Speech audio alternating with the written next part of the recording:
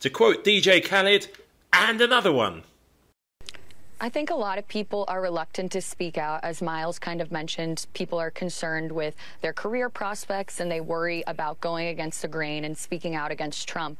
And then I think, too, that even if there are people who know that Trump is dangerous and maybe are thinking about speaking out, they do not want to go as far as endorsing Joe Biden then.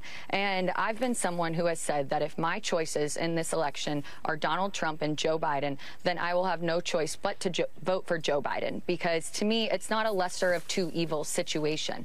There is no comparison here. Even if I don't like the policies of the Biden administration, I'm willing to put that aside because I know that Donald Trump is a danger to our democracy and that he is unfit to ever serve as president again. And so I'm going to do everything I can and use my voice and my platform in order to educate the American people about this threat, but that I hope that in, will inspire other Republican elected officials and former Trump administration officials feel comfortable to come forward and speak that truth too, because I think that we have a duty to the American people to educate them on this.